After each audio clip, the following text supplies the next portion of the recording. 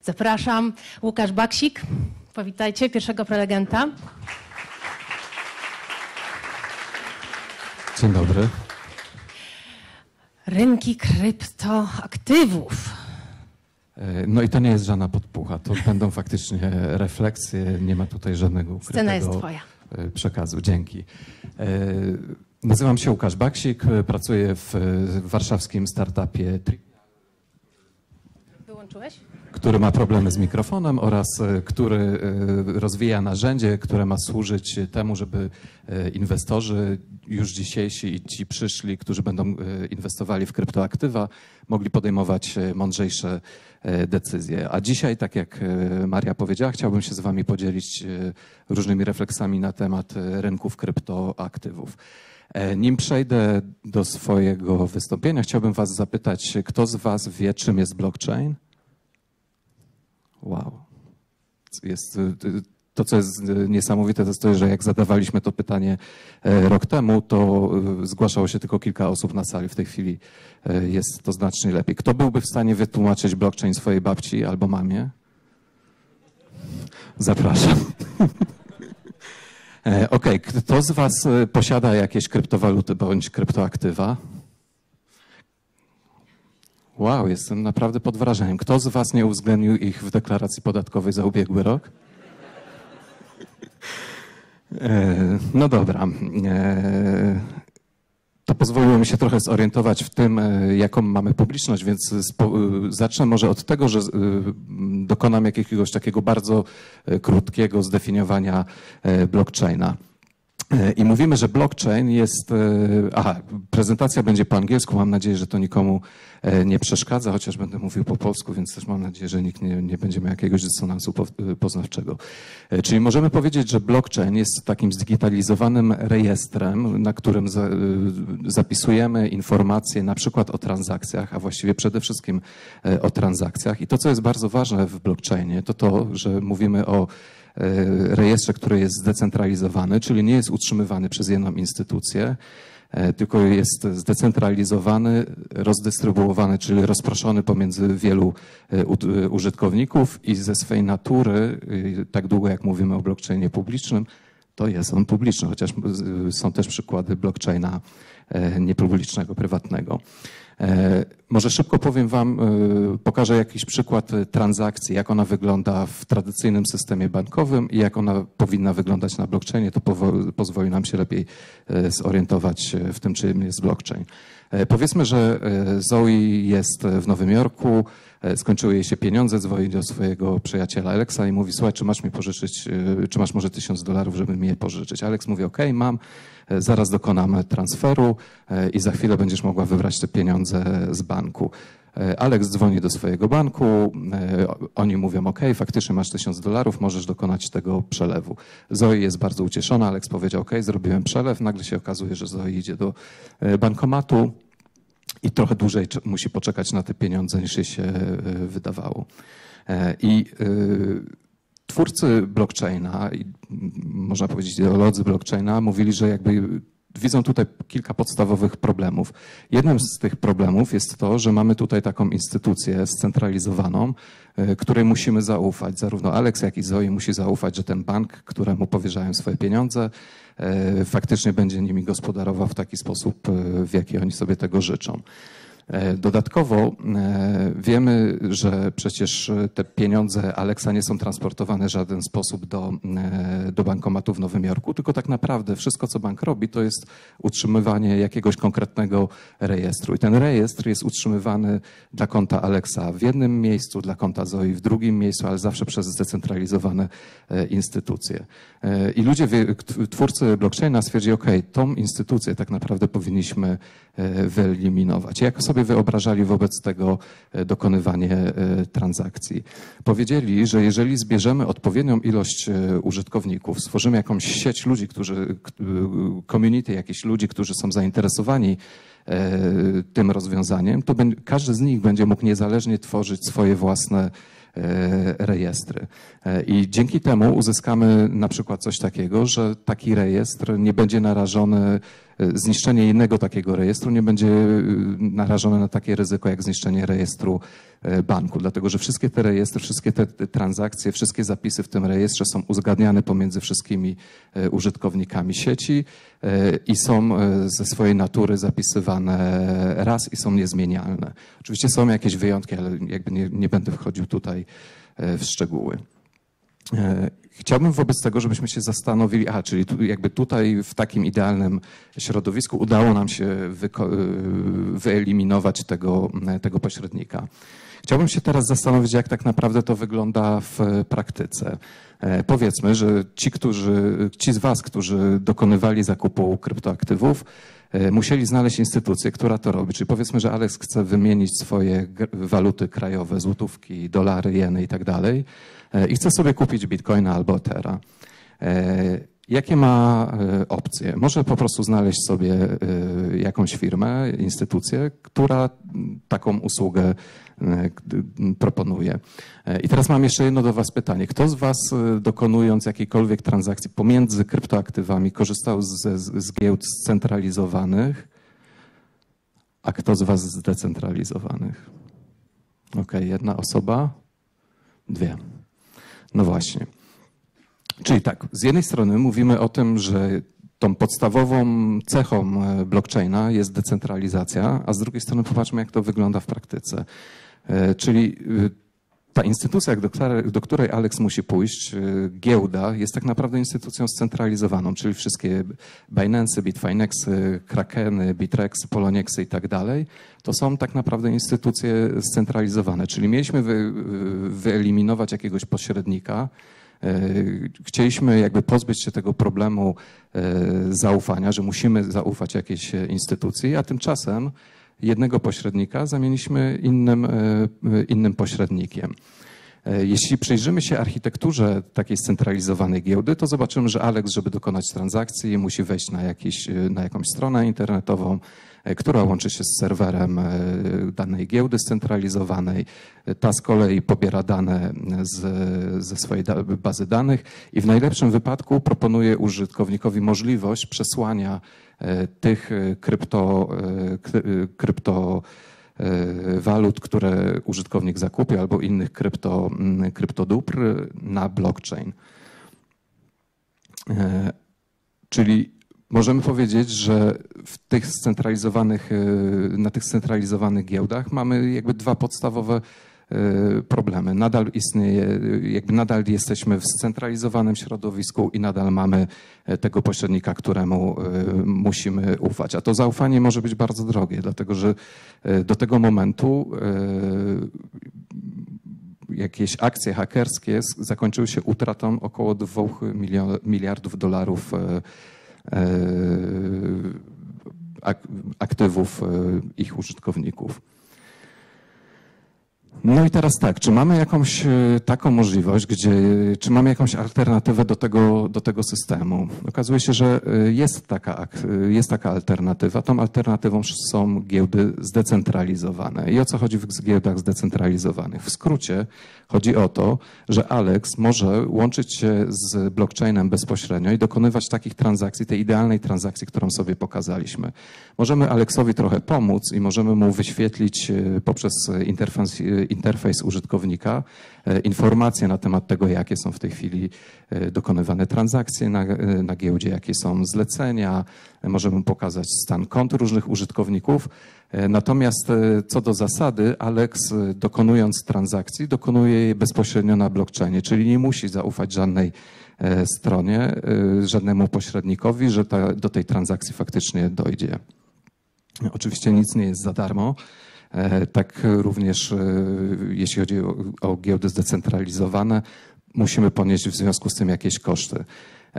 Tak naprawdę patrząc od dołu, najważniejszym, naj, chyba tym takim największym wyzwaniem i co za tym idzie największym kosztem takiego rozwiązania jest póki co niska płynność, czyli E, Powiedzmy, że nie wiem, chcę sprzedać tysiąc tokenów e, Golema i mimo iż e, e, ten token jest e, proponowany na giełdzie, na którą patrzę, to może się okazać, że wcale nie jestem w stanie upłynnić tych, e, tych aktywów. Dodatkowo mamy problem z kosztem e, transakcji, kosztem odwołania zlecenia oraz e, czasem procesowania samej transakcji i odwoływania zlecenia. E, Czyli w idealnym świecie można by powiedzieć, super, mamy to rozwiązanie, ale tak naprawdę to jest ciągle rozwiązanie, które jest nie do końca e, aplikowalne, nie do końca e, rozwiązuje nasze problemy. E, Wymyślono wobec tego, że można stworzyć takie hybrydy. I nie mam na myśli, nie wiem, Toyota Auris hybrydowej, tylko hybrydę, jakieś takie połączenie tych dwóch rozwiązań, czyli takie semi-decentralized giełdy. E, Co się tutaj odbywa? Tutaj jakby w- przebieg transakcji jest taki, że e, Alex wchodzi znowu na stronę, e, na stronę jakiejś konkretnej giełdy. E, Na tej stronie wy- wyświetlane są informacje e, o tym, co się dzieje na blockchainie, czyli znowu te na przykład e, stany konta. E, I Alex dokonując transakcji, dokonuje tej transakcji bezpośrednio e, no właśnie, nie dokonuje transakcji bezpośrednio na giełdzie. Jego, e, te balanse, te środki, które przesyła, przesyła bezpośrednio na giełdę. Natomiast jeśli chodzi o same zlecenia, po to, żeby obniżyć koszty i- przyspieszyć czas realizacji takiego zlecenia, są dokonywane na serwerach giełdy zdecentralizowanej. I teraz to, co jest w porządku w tym rozwiązaniu, jest to, że środki Alexa są nadal bezpieczne, bo one są przechowywane na blockchainie, natomiast nie mamy transparentności, którą daje nam e, blockchain i takie rozwiązanie w pełni e, scentralizowane. Czyli e, znowu pojawia się instytucja, może nie w pełni scentralizowana, ale jednak częściowo scentralizowana. Znowu musimy komuś ufać, że będzie dokonywał transakcji e, w sposób e, transparentny, nie będzie próbował e, nikogo oszukać, a przecież to chcieliśmy wyeliminować. Jeśli przyjrzymy się w tej chwili obrotom na giełdach scentralizowanych i zdecentralizowanych, to jeżeli nas tutaj jest 200 osób i 1%, e, no okej, gdybyście wszyscy mieli jakieś e, kryptoaktywa i tylko dwie osoby e, dokonywały transakcji na giełdach zdecentralizowanych, to moglibyśmy powiedzieć, że mamy dokładnie ten sam obraz, który jest na blockchainie. Czyli zaledwie 1% transakcji w tej chwili odbywa się na giełdach zdecentralizowanych. Czyli mówimy, że blockchain jest po to, czy jednym z założeń blockchaina była decentralizacja, a tymczasem kończymy w totalnie scentralizowanym e, środowisku. E, I nie mówię teraz tego po to, żeby mówić, że jest jakoś strasznie, że miało być tak fajnie, a wyszło jak zawsze. Tylko bardziej chodzi mi o to, żebyśmy e, spróbowali uświadomić sobie, w którym etapie rozwoju blockchaina i zastosowania blockchaina w tej chwili jesteśmy. Bo e, coraz częściej się mówi, że jesteśmy naprawdę na bardzo, bardzo wczesnej fazie, wcześniejszej niż nam się wydawało na przykład pół roku temu. Podobnie było z internetem. W 1991 roku twórcy pierwszych stron internetowych nie przewidywali, nie myśleli o tym, jak, mm, jak internet będzie wyglądał w 2008 roku. Nie, nie byli w stanie jakby wymyślić, że ok, będziemy mieli e, tak, takie zastosowania, jakie mamy e, w tej chwili. Na to wszystko dokładają się jeszcze e, regulacje. Tutaj e, e, regulatorzy, zresztą bardzo słusznie, coraz częściej również uważa się, że na początku jakby wiele użytkowników blockchaina e, uważało, że no to nie jest ok, żeby regulować to, e, to rozwiązanie. Teraz coraz częściej się mówi, że te regulacje jednak są potrzebne. Same te mm, ataki hakerskie i brak zabezpieczeń przed nimi są doskonałym e, jakby potwierdzeniem tej tezy, że te regulacje faktycznie są, są potrzebne. No więc spróbujmy popatrzeć trochę na jaśniejszą stronę tego wszystkiego, na jaśniejszą stronę blockchaina i e, zastanowić się, jakie tak naprawdę, jeśli chodzi o same giełdy, jakie stoją przed nami wyzwania. E, Czyli jak rozmawiam z wieloma ludźmi rozwijającymi również giełdy, przede wszystkim oczywiście proto- protokoły zdecentralizowane, to wszyscy są zgodni co do tego, że y, ta y, architektura, którą mamy w tej chwili, ta, te, te rozwiązania, z których korzystamy w tej chwili, są naprawdę ułomne i dalekie od założeń y, blockchaina.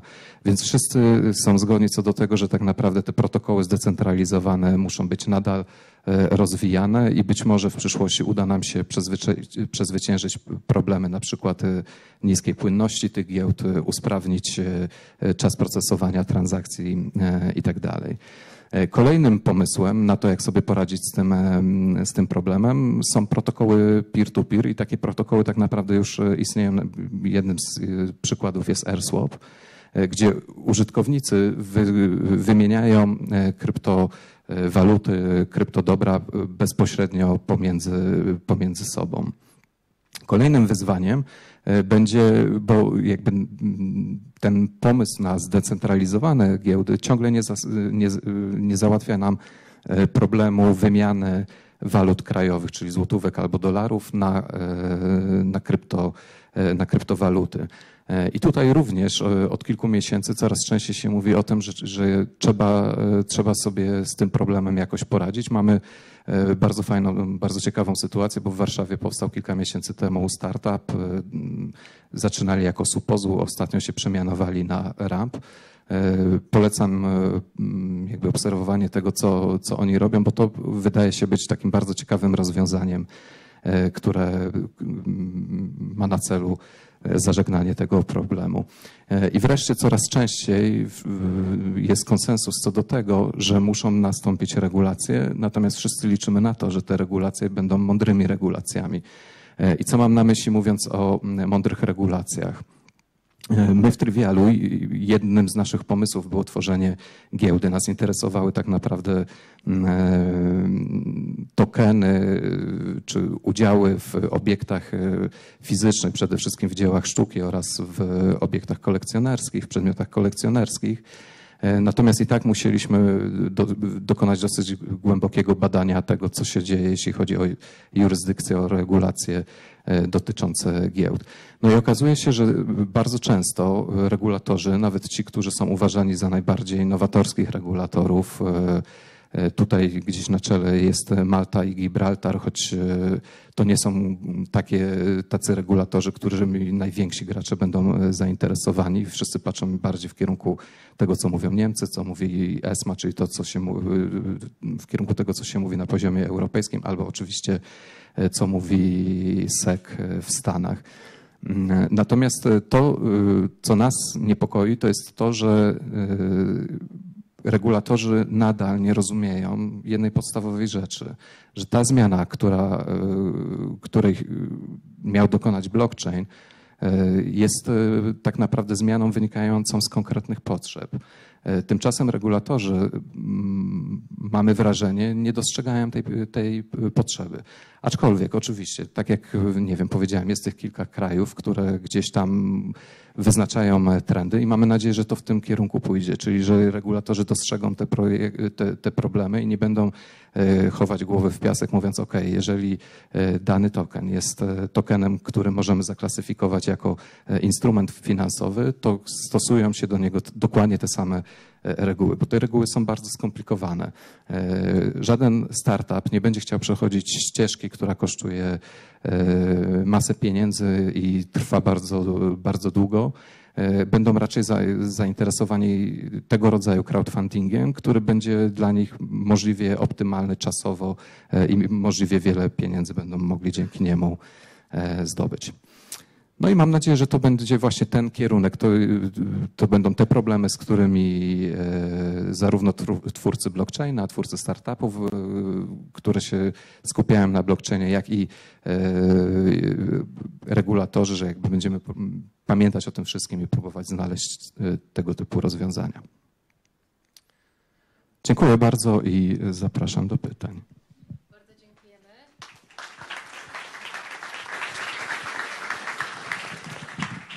Łukasz Baksik e, był waszym gościem. Pytania, chętnie podam mikrofon, zapraszam. Taki tłum onieśmiela, widzę wszystkich.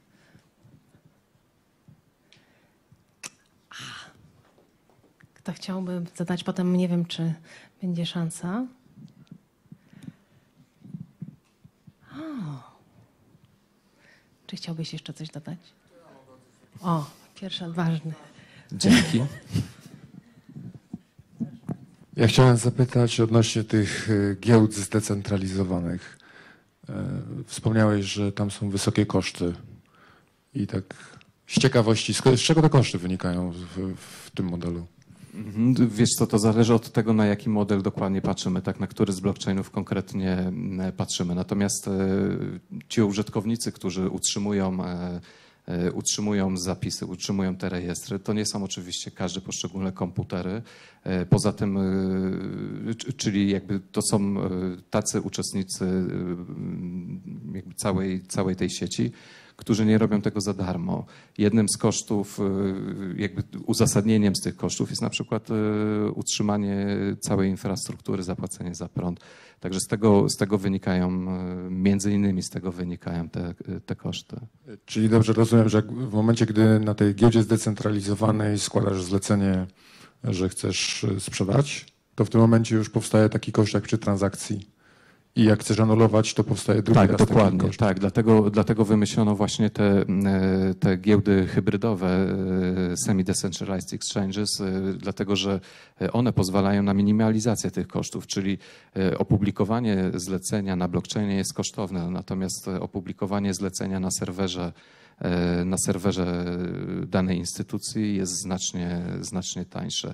I, e, i da- dana giełda zdecentralizowana, czy tak naprawdę ta hybrydowa, e, opublikuje Twoje zlecenie, znaczy nie opublikuje Twojego zlecenia, opublikuje dopiero informacje e, o transakcji. Dopiero wtedy, czyli wtedy, gdy faktycznie dokonasz, e, wtedy, gdy faktycznie dokonasz e, tej transakcji, ona zostanie zapisana na blockchainie. Dzięki. Dziękuję. Kolejne pytanie. Tak, już podaję. E, O co chodzi z tym współdzieleniem e, własności e, w dzieła sztuki? Jak to wszystko połączyć w jedną całość?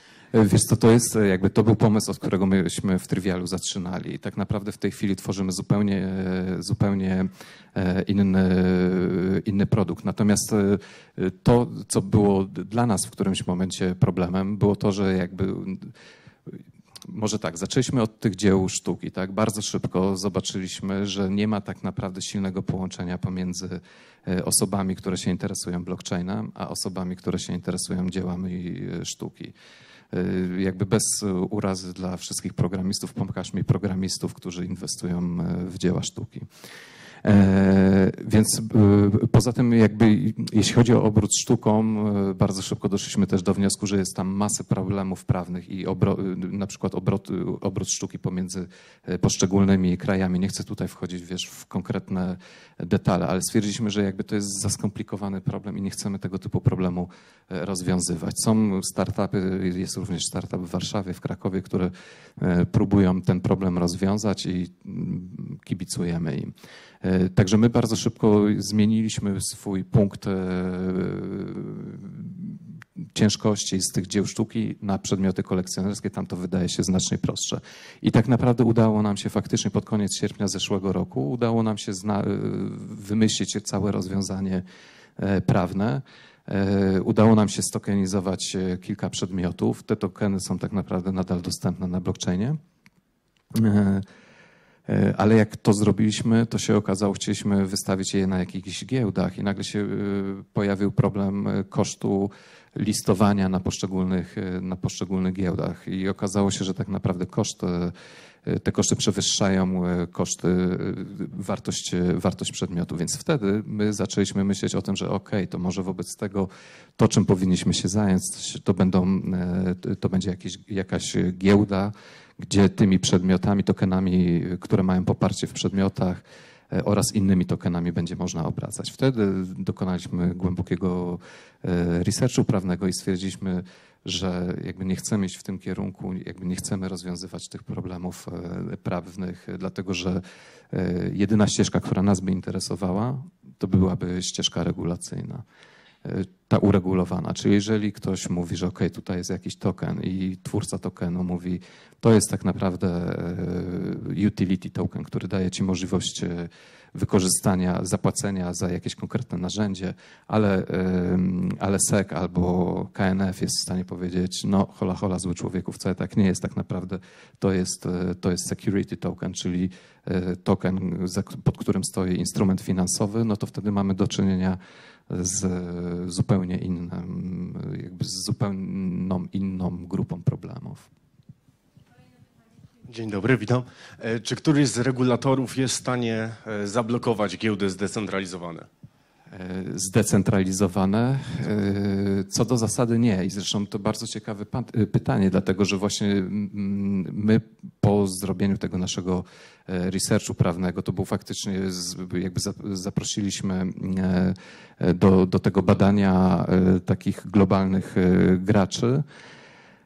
I, no i tak, z jednej strony właśnie regulator nie jest w stanie zablokować giełdy zdecentralizowanej i nam się wydaje, że regulacje, które będą dotyczyły tych konkretnie giełd, muszą być po prostu jakby wszystko, to, o czym w tej chwili mówią regulatorzy, nie przystaje do tego konkretnego problemu. No bo zdecentralizowana giełda jest tak naprawdę protokołem. Na blockchainie jest tak, że wszystko jest, jest e, może nie wszystko, ale większość rozwiązań, rozwiązań jest z rozwiązaniami otwartymi. Był na przykład taki protokół smart contract e, EtherDelty, który możesz sobie wziąć, e, jeżeli EtherDelta, która stała, twórca tego kontraktu, zaczął wykonywać jakieś bardzo dziwne e, ruchy na, e, podejmować jakieś dziwne działania, wtedy społeczność, przy- znaleźli się ludzie, którzy stwierdzili, ok, smart contract EtherDelta jest fantastyczny i możemy go sforkować, czyli możemy wziąć ten kontrakt i stworzyć swój nowy smart contract, czyli stworzyć de facto nową e, zdecentralizowaną giełdę. E, Czyli nawet jeżeli regulator miałby komuś e, zabraniać, no to pytanie komu? I to jest właśnie ta grupa problemów, która nam się wydaje, że póki co regulatorzy nie do końca e, widzą tutaj tą potrzebę, ale myślę, że kolejny prelegent będzie w stanie trochę więcej nam na ten temat powiedzieć. Ja nie jestem prawnikiem. Natomiast my mamy nadzieję, że właśnie regulatorzy będą próbowali zrozumieć jakby sedno tego, tego co jest na blockchainie. Dziękujemy bardzo. Dziękuję bardzo. Jeszcze raz Łukasz Baksik,